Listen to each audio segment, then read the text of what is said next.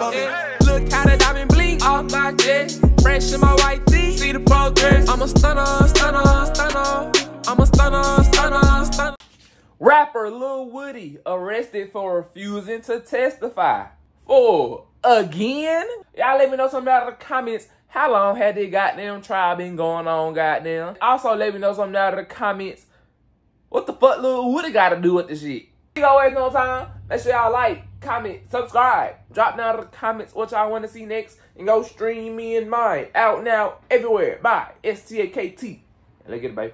A witness in the YSL trial arrested on the stand after refusing to testify. Kenneth okay. Copeland, a- a- aka rapper Little Woody, was not the cooperative witness that prosecutors had like hoped for. Atlanta News First, Rachel Aragon is live outside the Fulton County Courthouse. And Rachel, another wild day in this trial. Yeah, so much has happened during the six or so months of this YSL trial, but today seemed to have a bit of everything. A big shouting match, an arrest, and a FIRE witness who refused to testify. 826. The state's next witness in the YSL trial, Kenneth Copeland, aka rapper Lil Woody. Mr. Copeland, come on up and have a seat here, sir. But before the jurors were called in, Copeland's attorney says his client planned to invoke his Fifth Amendment right to avoid self incrimination. What he has told me is that he repeatedly told the DA's office that he did not wish to cooperate, did not wish to testify. The judge told Copeland there's an order granting him immunity which prevents his testimony from being used against him, which means. So you're required to testify. So, if you don't testify, you gotta pay attention to what they say. The state's probably gonna ask me to jail you. I'm probably going to do that. The judge was true to his word. After a lunch break, Copeland did testify briefly. Are you going to let me ask you some questions? Okay. How old are you? Grown. Okay, what does grown mean?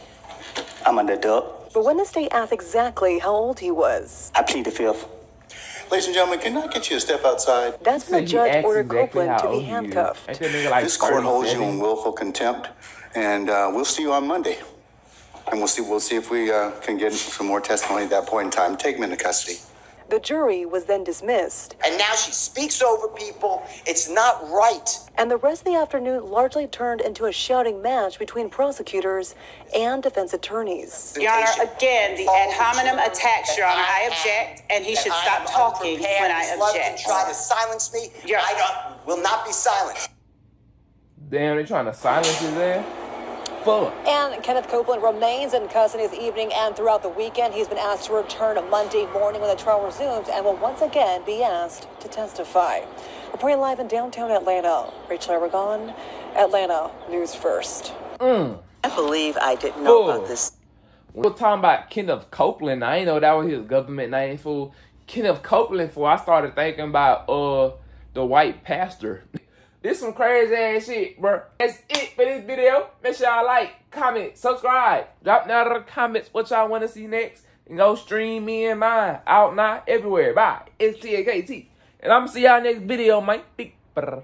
Look how the diamond blink off my chest. Fresh in my white tee. See the progress. I'm a stunner, stunner, stunner.